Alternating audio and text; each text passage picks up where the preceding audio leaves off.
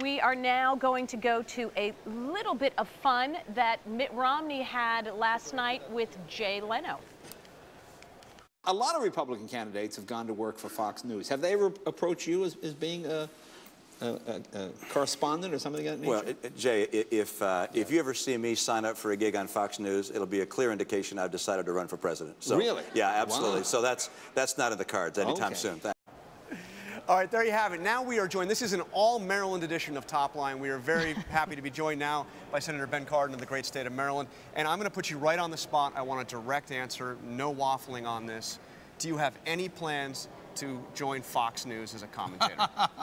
well, look, that, that may be my entry into the, the national uh, spotlight. That, that's so I'll have to keep to know. Keep all my options open. so you are not ruling that out? Absolutely not. Okay, we've got our headline. But but moving to, to the serious matter here, this question of extension of these tax cuts. Uh, what what is your sense? The, the negotiations are going on. Are are you willing to live? With the idea of extending all of them, even on billionaires, if it's a, uh, a temporary extension? Well, I think Kathleen Kennedy Townsend got it right, but let me say this.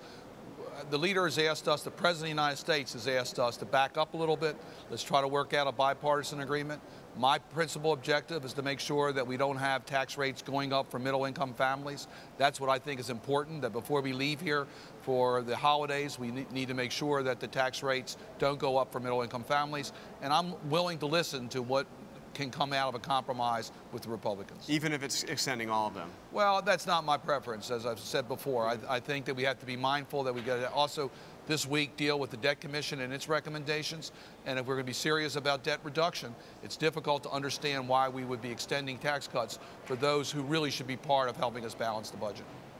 Uh, Senator Cardin, uh, just on that same topic, is it worthwhile for a deal uh, if it means getting something accomplished on the START treaty as well? Well, you know, I find it just amazing that the Republicans would bring that up in the debate on taxes foreign policy should be a matter that uh, we put, that we don't get into a partisan division. This is a matter of national security. The completion of the ratification process on START is in our national security interest. We need to get it done before we leave. And I, I would find it a, a major uh, problem if we try to combine that with any other issues that are around here. We shouldn't do that. So help me understand something on, on START. Why is it that this has become an issue which is absolutely do or die for the month of December in a lame duck Congress? I mean, why? Obviously, okay. it's been a year since the last one expired. Why, why not? Uh, I mean, what's wrong with kicking this to January? Well, we've already reviewed it. We've had seven months of congressional debates, 20 hearings. We've had hundreds of questions asked on the record. We've had opportunities in closed sessions, open sessions. All the questions have been answered. This is New START. We've already had a START agreement. For the first time since the end of the Cold War, we now do not have a verification system as to what Russia is doing. We've got to get this done. If we hold it off to January, it's a new Congress, may require new hearings, we start getting involved in presidential politics, the election years start earlier and earlier. Let's take this out of politics and get it done. It's a national security issue. We've had Republican and Democratic leaders on, on the political front, on the, the, our military leaders, all agree that we need to get this done. Um, we just have about a minute left here, but I wanted you to weigh in a little bit on the debt commission. There's a lot of concern that there will not necessarily be those 14 votes there, but there is talk about something happening in Congress, regardless of whether there's an official report. Do you believe there will be some of these proposals actually voted on in Congress by next, you know, in, in the next year or so?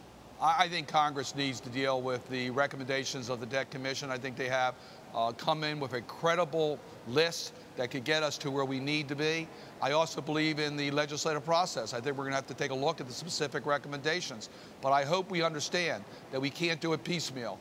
We have to have a, a way of bringing our budget into balance that's fair, that um, maintains critical services to those who are in need, and relies not just on the spending side, but also the revenue side in order to balance our budget.